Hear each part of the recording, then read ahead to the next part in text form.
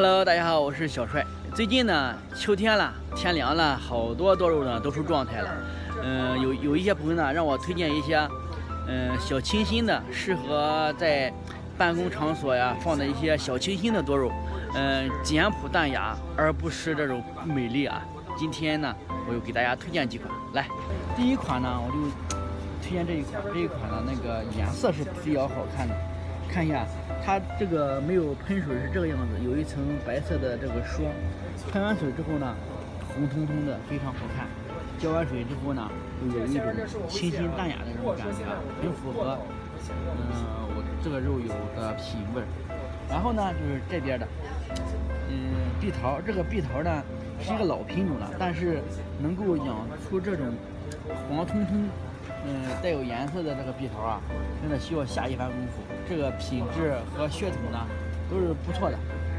这个血统是不错的，嗯，这个基因也是非常，嗯，可以的。因为它，嗯，有些碧桃呢，就是长得特别大，没有这种包子状，嗯，不像桃。有的呢，它就光长得特别大，但是不好看。这个呢是比较不错的。然后是这种的，这个双头的这种，非常红彤彤的。非常的可爱，然后呢，最近呢还来了一批新比较新的一些多肉，我带大家去那边看看。来，这是我们的一个直播间，都在直播。来，我们看看这边有没有比较新奇的多肉。看这个，这个是最近嗯一个新款，哎，是一个老庄子的，嗯，这个叫叫蓝光嘛，叫蓝光。嗯，有的叫达芬奇密码不一样，它有点发蓝的颜色，所以它叫蓝光。咱再往前走，寻找一下新品多肉。哎，这边没有新品，咱们去那边找。这个，这个，这个多肉呢，也是一个比较，嗯，比较老的这个品种啊。这个叫低亚，低亚的话。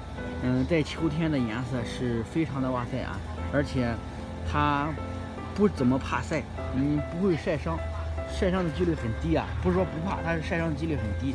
一般秋天的话，直接可以露养了。这种多肉是露养了，头很多。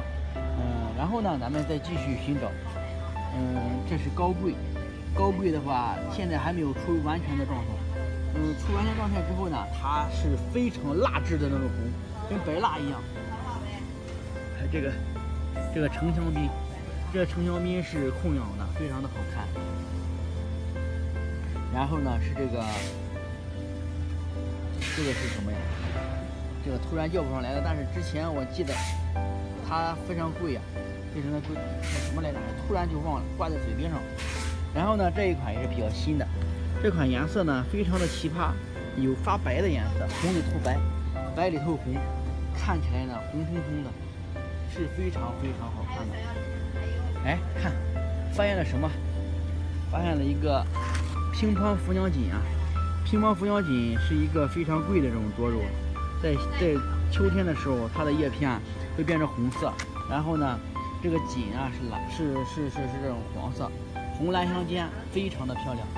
而且呢，它现在价格降的比较便宜了，可以入手一个，秋天可以入手一个。那边又上了一批新多肉，下期给大家介绍。